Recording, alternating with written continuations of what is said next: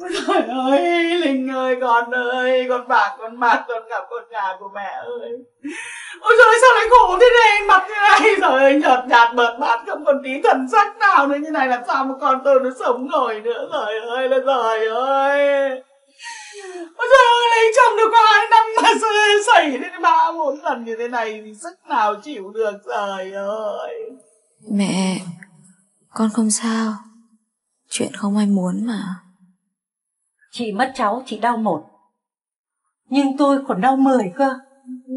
chị Hạnh ơi, người ta bảo là con gái thì lấy chồng hưởng phúc đức vợ chồng.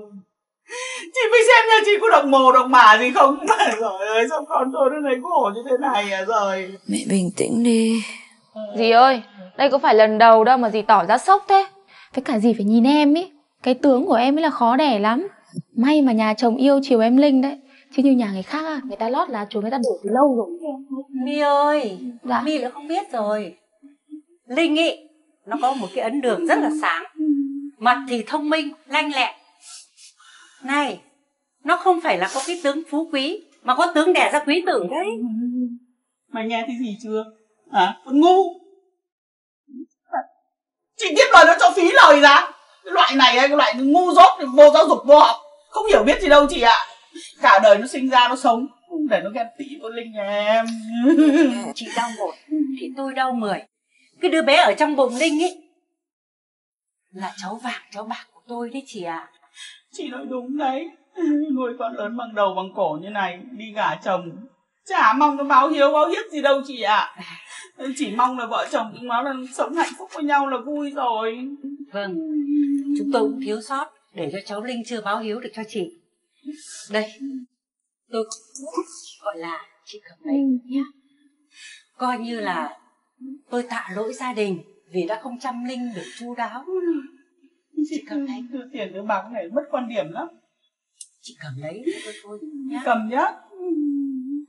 Cầm cho chị vui ấy rồi chứ còn chả ai biết gì đâu, đau đang đau lòng lắm.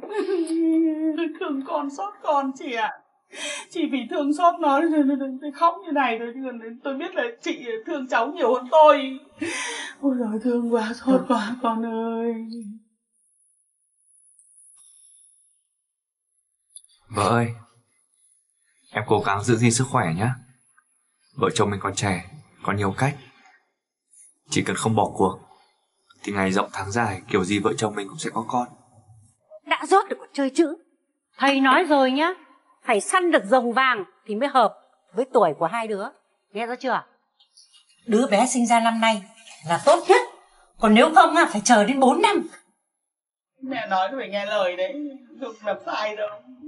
Linh ơi, con xem nó nào tiễn mẹ Tâm đi, rồi nghỉ ngơi. Còn Tùng, con đi bảo dưỡng xe, sáng mai đưa mẹ với Linh đi diện thánh, nhá. Ơ, em Linh ngồi còn không vững. Mai đã đi lễ luôn ấy ạ? Em phải đi gửi đứa bé vào vòng tay Phật Thánh. Để đứa bé sớm quay trở lại với mẹ. Mẹ chồng em tính toán chu toàn hết cả rồi chị ạ. Cứ thế mà làm, nhá. Đi gì? Mẹ về nữa. Chịu khó ăn uống sức khỏe đi. Có cháu tiếp cho mẹ vui nhá.